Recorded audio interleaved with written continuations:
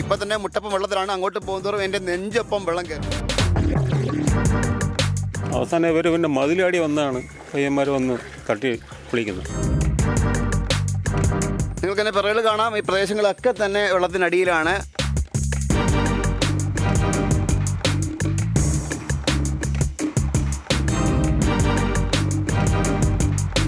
നമസ്കാരം. ആറ്റിങ്ങലാണ്. ആറ്റിങ്ങൽ കൊട്ടിയോടാണ്. ആറ്റിങ്ങൽ കൊട്ടിയോട് പണ്ട് വിളാകം കോളേജിലേക്ക് പോകുന്ന റോഡിലാണ് ഞാൻ നിൽക്കുന്നത്. നിങ്ങൾക്കറിയാം ഞാൻ ഇപ്പം തന്നെ മുട്ടപ്പം വെള്ളത്തിലാണ് അങ്ങോട്ട് പോകുന്നതോറും എന്റെ നെഞ്ചൊപ്പം വെള്ളം കയറും. ആ അവസ്ഥയാണ് ഇവിടുത്തെ വീടുകളിലൊക്കെ ഉള്ളത്. കാരണം ഈ വീടൊക്കെ ഏകദേശം പിന്നെ കാൽഭാഗത്തോളം വെള്ളത്തിലായി കഴിഞ്ഞു. അത് മാത്രമല്ല ഇത്രയും വെള്ളം ഇവിടെ കയറിയിട്ട് പോലും ഇവർക്ക് യാതൊരുവിധ സഹായവും ലഭിക്കുന്നില്ല എന്നുള്ളതാണ് ഏറ്റവും സങ്കടകരമായ വസ്തുത. എന്തായാലും ഈ വീടിന്റെ ഉടമസ്ഥനായ അനിൽകുമാർ ഇപ്പോൾ ഞങ്ങളോടൊപ്പം ഉണ്ട്. തന്നെ ചോദിക്കാം. ചേട്ടാ എന്താ ഇന്ന് രാവിലെ ഏറെ ഉറക്കമായിരുന്നു രാവിലെ ഒരു നാല് മണി നാല് മണിയല്ല രണ്ട് മണിയോട്ട് ആരൊക്കെ വിളിച്ചു. അപ്പം ഞാൻ നല്ല ഉറക്കത്തിലായിരുന്നു. അപ്പം ഞാൻ ഇത് അവസാനം ഇവർ പിന്നെ മതിലാടി വന്നാണ്. പയ്യന്മാർ വന്ന് തട്ടി വിളിക്കുന്നത്. ഒരു നാലര മണിയായി. വിളിച്ചപ്പോൾ സ്കൂട്ടറൊക്കെ ഇവിടെ ഇരിക്കും അത് പകുതിയായി വെള്ളം.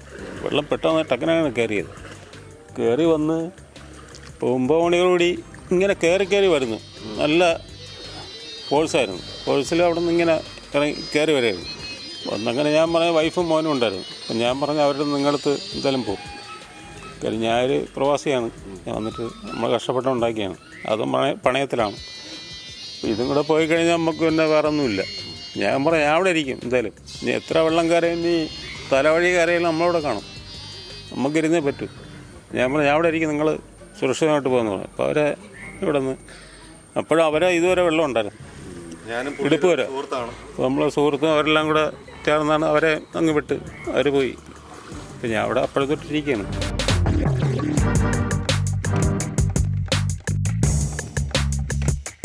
ഭക്ഷണം ഒന്ന് എത്തിച്ച്. മൂന്നര മണിയായി ഇപ്പോൾ ഭക്ഷണം എത്തിച്ച് അപ്പുറത്ത് നമ്മുടെ സുഹൃത്താണ് ഇപ്പോൾ ഒരു ഭക്ഷണം ഭക്ഷണം കൊണ്ടുവന്നു ഇപ്പോൾ ഇപ്പോഴാണ് കഴിച്ചത്. കഴിച്ചിട്ട് വരുന്നപ്പോഴാണ് നിങ്ങൾ വന്നത്. ഇതാണ് ഈ പരിസരത്തെ അവസ്ഥ. ഇതാണ് ആറ്റിൽ നിന്ന് വെള്ളം കയറിക്കൊണ്ടിരിക്കുകയാണ്. ഏകദേശം ഏകദേശം ഒട്ടുമിക്ക വീടുകളും ഇപ്പോൾ തന്നെ ഇവിടെ വെള്ളത്തിനടിയിലായി കഴിഞ്ഞു.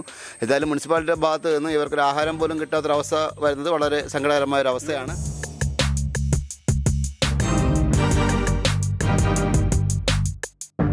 കഴിഞ്ഞ ഒരു എട്ട് വർഷം മുമ്പും വെള്ളപ്പൊക്കം കയറി. ഇപ്പോഴത്തെ നല്ല വളരെ അധികമായിട്ടുള്ള സംഭവമായിരുന്നു. എന്നിട്ട് പോലും ഇത്രയും ഈ വെള്ളം വന്നിട്ട് പോലും എല്ലാവരും വന്ന് മുനിസിപ്പാലിറ്റിയിൽ നിന്ന് അവിടെ നിന്ന് ആൾക്കാരൊക്കെ വന്ന്. എന്നിട്ട് ഒരു നേരത്തെ ആഹാരം പോലും അത് പോയിട്ട് നമുക്ക് വേറെ ഹെൽപ്പ് വേണ്ട. ഇവിടെ നമ്മളെ എല്ലാ വ്യക്തികളെയും ഒക്കെ മാറ്റിയൊക്കെ നിർത്തി. നമ്മളെ ലേഡീസിനെയും കൊച്ചുങ്ങളെയൊക്കെ മാറ്റി നിർത്തി. ഇപ്പോൾ ഇത് കഴിഞ്ഞ് നമ്മളൊരു നൈബർ ഇവിടെ ഉണ്ട് ഞാൻ അവിടെ ഉണ്ട്. ഇപ്പോൾ ഇവർ വെള്ളം ഇറങ്ങിയെന്ന് പറഞ്ഞപ്പോൾ ഇങ്ങോട്ട് ജസ്റ്റ് ഒന്ന് വന്നത് ആരും വന്നില്ല. ഇവിടെ ഒരു നേരത്തെ ഫുഡ് പോലും കൊണ്ടുവരാൻ ആരും തിരിഞ്ഞു നോക്കിയിട്ടില്ല. ആ ഇന്നലെ രാവിലെ മൂന്ന് മണി തൊട്ടാണ് ഈ വെള്ളം കയറി തുടങ്ങിയത്. അപ്പോൾ ഈ മൂന്ന് വീട്ടിലാണ് കയറിയിട്ടുള്ളത്. മറ്റുള്ള വലിയ കുഴപ്പമില്ല. എന്നാലും ഇവിടെ നിന്ന് പുറത്തിറങ്ങാൻ പറ്റാത്ത അവസ്ഥയിലാണ് നിൽക്കുന്നത്. ഇനി അത് വെള്ളം ഇറങ്ങിയാൽ മാത്രമേ നമുക്ക് വെളിയിലോട്ട് പോകാൻ സാധിക്കത്തുള്ളൂ.